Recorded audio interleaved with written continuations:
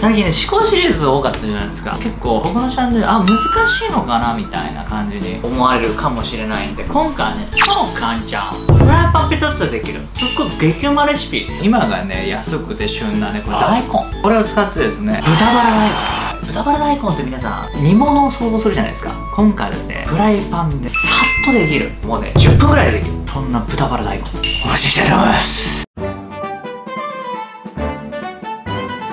リュウジのバズレシピ。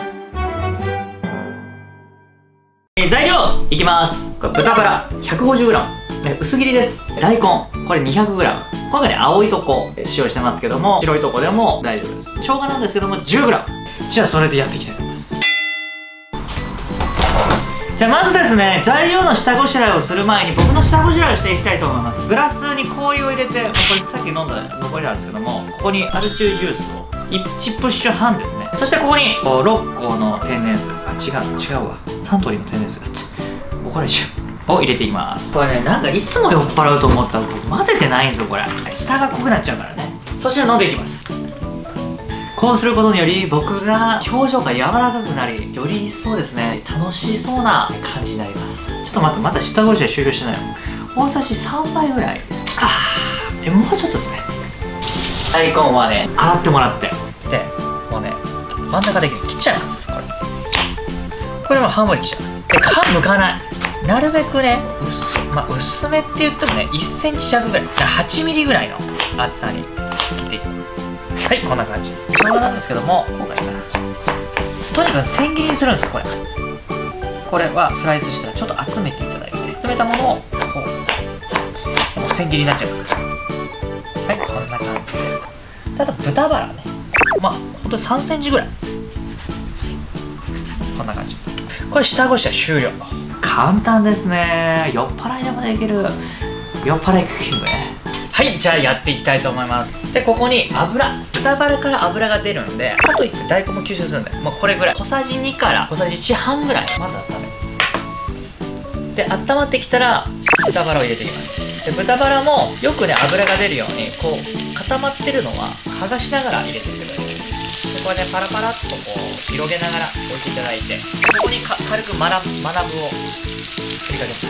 で中火ぐらいでいいですからねこれね。ちょっと油が出てきたなと思ったところでこの生姜これがね豚の臭みと大根臭さっていうのを抜いてくれるんですよ。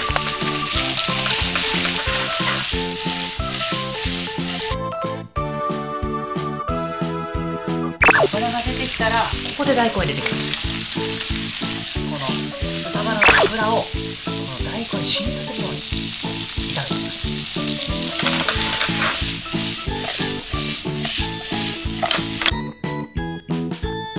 そしてこの豚バラとこれ生姜のカルそしてこれをこれはですね飲めていきます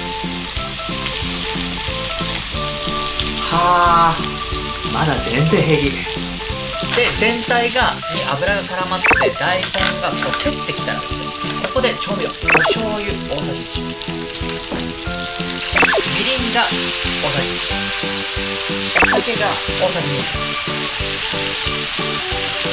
そして味の素さあこれで煮絡めていく感じですね。あとお砂糖。のおお砂糖。小さじ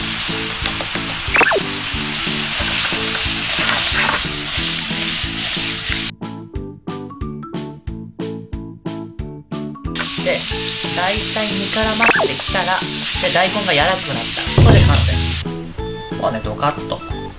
どうしてもね大根でおかず作りたかったんですよ。その時に生まれた料理です。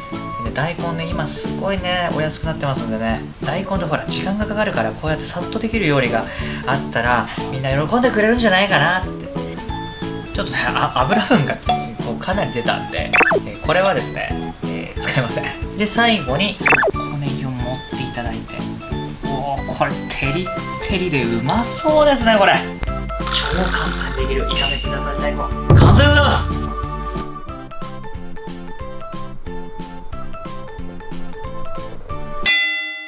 はいではですねできましたので食べていただいていただきます。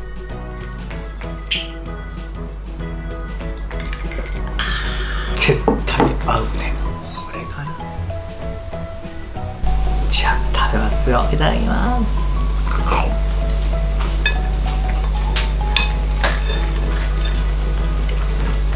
これはねめちゃめちゃうまいっすねこれね。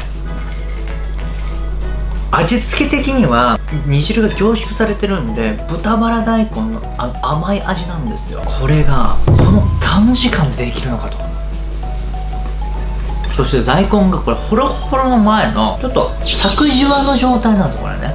この柔らかい豚バラと合うことによってもうねえも言われない幸福感に目覚める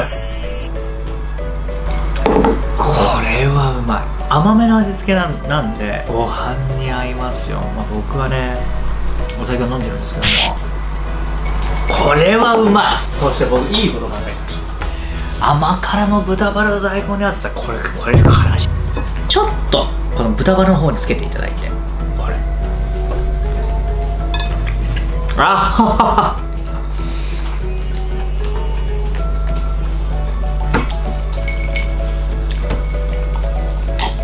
これはちょっとからし必須じゃないかなこれ。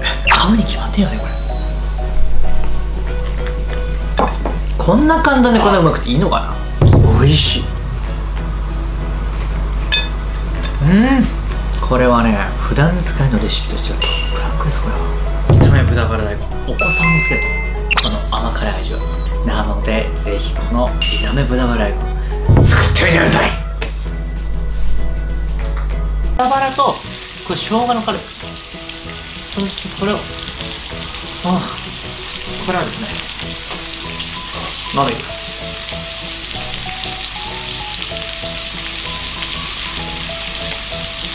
はあ